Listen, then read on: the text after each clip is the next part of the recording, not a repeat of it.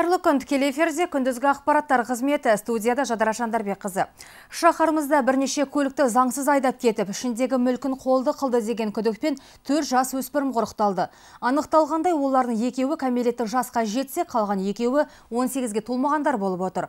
Құқық бұзушылар кілттерді іріктеу арқылы автокөліктерінің құлпын ашып, біраз уақыт керегіне жаратқан соң қала көшелеріне қалдырып кете берген.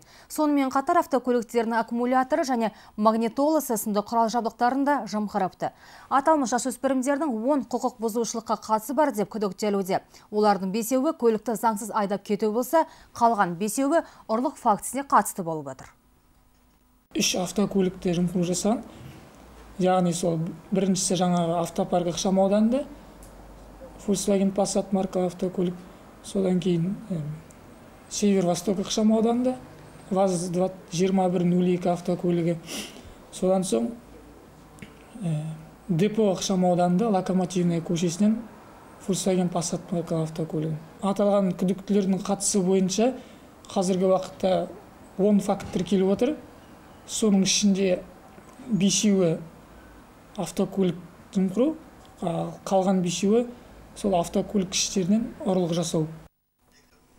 Көптен көткен қуаныш облысымызға қарасты Тасқала ауданының екі елді мекеніне кеше көптен көткен көгілдір отын жеткізілді. Аталған ауданның достық және мерей ауылдық округіне кіретін ынтымақ және тоғайлы елді мекені көгілдір отының жеткізілуін көптен күткен еді. Бюджеттен бөлінген қаражаттың аздығы етіп жетпегенін, аймақтың атымтай жомарт азаматтарының көмектесуімен үстіміздегі жылы ауыл тұрғындарының көп жылғы арманы жүзеге асты. Тақырыпты толығырақ тілшіміз тарқатсын.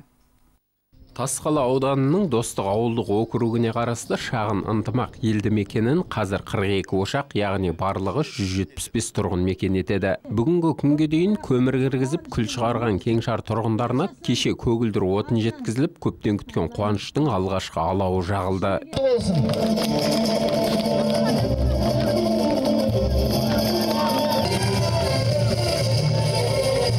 Жоспар бойынша бұл газ жаңағы магистральдық трубопроводтан біздің мектепке әлеуметтік нысандарға жеткізу мәселесі қарастырылған болатын.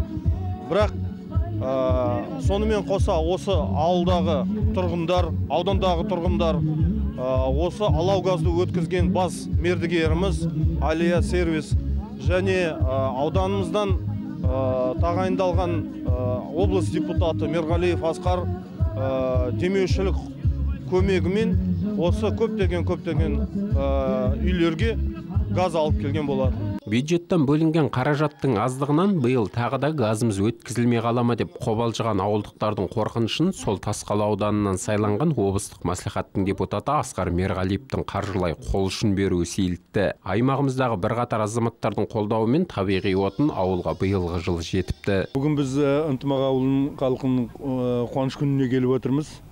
Біздің облыстық кеңес мүшесі мерғалиев асхат серікұлы осы ауданның ауданнан облыстық мәслихатқа депутат болып сайланып еді жаңа үш төрт жыл турасында. Сол кісінің көмегімен осы ақырынғы екі ауыл округына газ табиғи газ келіп жатыр соған өзінде серік серіктестігінің үлесі бар қаражатты соған уәкіл ретінде бүгін сұрап еді осындай мәжіліске қатысуға.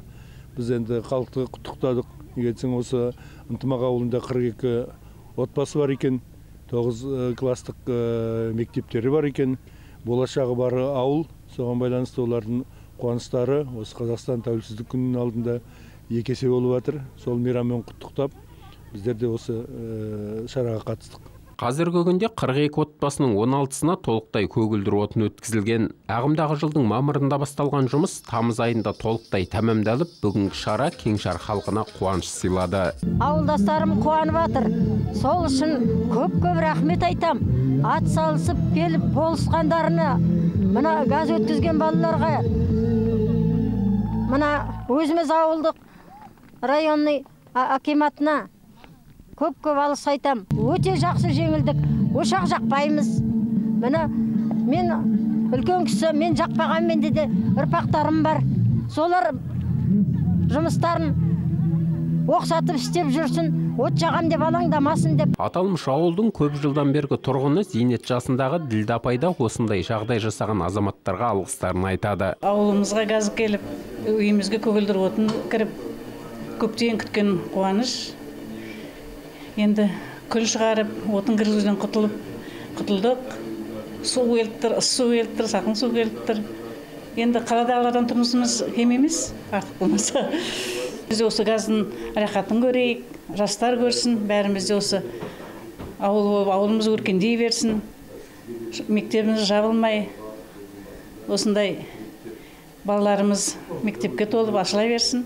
Табиғи газ жеткізілген екі елді мекенге аудан әкімі барлығы 100 миллионның үстінде теңге жұмсалғанын мәлімдеді. Ал облысымыздағы ауылдық округтерді айтпағанда көгілдір отын тартылып отырған алғашқы кеңшарлардың ішіне осы ынтымақ пен тоғайлы ауылдар кіреді. Жандос хамза нұрлан конашев рустам жұмашев тдк телеарнасы.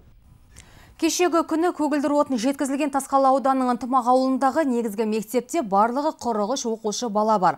Ауылға қараста бастау кеңшары мен төрт бірде шаруа қожалығынан қатынап оқитын оқушыларға мектеп жанынан арнай жатақханада жабдықталған. 1960 жылдары салынған шағын мектеп тозығы жеткесін 2009 жылы күрделі жөндеуден өткен екен. Мектептің күрделі жөндеуден өтуіне де белгілі бір мөлшерде қол ұшын беріп көмек көрсеткен азаматтар да бар. Балалардың алаңсыз білім алу алуына жағдай жасап, бүлдіршіндердің болашағын ойлаған азаматтарға мектеп басшылығы да ризашылығын айтты. Осы 2009 жылы мектепте күрделі жөндеу өтті. Енді шатыры ауыстырылып, қабырғалары жөнделіп, және де осы сыныптардың ішкі безендіру бәрі сол жылы. Қазір біздің мектепте 43 оқушы бар, 17 мұғалім жұмыс істейді. Былтырғы жазда біздің мектепте енді өткен күрделі жөндеуде қаражат жетпей сол едендеріміз жаңартылған жоқ сол былтыр біздер сондай бір сұраныспен асқар серікұлына барып сондай сұраныс бергенбіз сол кісі бізге көмектесіп қазіргі біздің осы рекреациядағы еденімізді жаңартылып мектебіміздің көркем болып тұрғанына қуаныштымыз біздер Орал қаласындағы Қазтрансгаз аймақ акционерлік қоғамының Батыс Қазақстан облыстық филиалы ғимаратында халыққа қызмет көрсету орталығы ашылды. Орталықтың ашылу салтанатына Батыс Қазақстан облысы әкімінің орынбасары Алмаз Бадашев қатысып, халықты мерекемен құттықтаған болатын. Және орталық арқылы тұтынушылардың барлық коммуналдық ақыны бір жерден төлеу мүмкіндігі пайда болған атап өтті. Алдағы бейнематериалда толығырақ. Жұмыс сапасын жетілдіру мақсатында есігін айқара ашқан халыққа қызмет көрсету орталығы әзірге алғашқы нысан болып табылады. Сондықтан оның ашылуы салтанатты түрде өтіп, шараға облыс әкімінің орынбасары Алмаз Бадашев қатысты. Ең басты осы орталықтың біздің қаланың тұрғындарына, тұтынушыларына сапалы қызмет көрсету. Сіз білесіз, бүгін жаңыз мына кассаларда жаңыз газдың төлемі емес мына жерде жылуды су свет төлемдерін төлеуге болады мынау бәрі елбасының жолдауына сәйкес халыққа сапалы қызмет көрсетуге осыған осы ұжымның ұйымдастырылған шарасы Тұтынушылар енді әртүрлі коммуналдық кәсіпорынға барып уақыт жоғалтпай ақ мұнда көгілдір отын, жарық, жылу ақыларын бір жерден төлей алады. Қала тұрғындарына бұл әбден қолайлы болмақ дейді көпшілік. Абоненттер келген уақытта бұрынғыдай тұрудың қажеті жоқ. Ең алдымен орнатылған орындықтарға отырып демалып, әр абонент өз кезегін күте алады. Сонымен қатар жаңа тек қана жылудың ақшасын төлеу емес, сонымен қатар басқа да қосымша қызметтердің ақшасын төлеуге болады осы жерден әртүрлі қызметтер көрсетіледі екен сонысымен ыңғайлы тұрғындар үшін Орталыққа келушілер электронды түрде кезек алып, жайлы орынға жайғасып отыра алады. Болашақта қызмет сапасын жетілдіру бағытында осындай нысандарды қаланың басқа аудандарынан да ашу көзделіп отыр. Эльмира Рахмешева, Дәурет Дүйсенбеев, Александр Грабрев, ТДК 42 телеарнасы.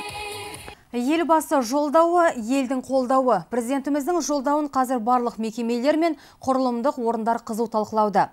Осыған орай қаламыздағы халыққа қызмет көрсету орталығын мамандары мен бірге Нұр Отан Халықты демократиялық партиясы Батыс Қазақстан облыстық филиалы мен облыстық өкілдері жолдауда қабылданған шаралардың халық өміріндегі мәні мен маңызын көтерді. Қазақстан жаңа жаһандық нақты ахуалда өсім, реформалар, даму атты соңғы жолдаудағы көтерілген реформаларды жүзеге асыруды әр әрбір ел азаматтың үлесі барын әңгімелеген мамандар елбасы бүгінгідей дағдарыс дәуірінде батыл қадамға барып отырғандарын айтып отырысты тәмамдады. Бұндай жолдауды тек қана мемлекеттік мекемеде емес халыққа қызмет көрсету орталығында өткізіп жатқан өте қатты қуаныштымыз. Жалпы жолдау жолдауды жүзеге асыру жолдауды ары қарай жетілдіру барлық мемлекеттік қызметкердің міндеті емес барлық қазақстан республикасының азаматының міндеті. Елбасы өзі айтады ғой біздер қазақстан республикасы елі гүлденген ері байыған жері гүлденген мәңгілік елді құру деп. Ол мәңгілік елді құру үшін барлық азамат бірігу керекпіз. Бәріміз біріккенде ғана біз сол жаңағы мәңгілік елді құрамыз деген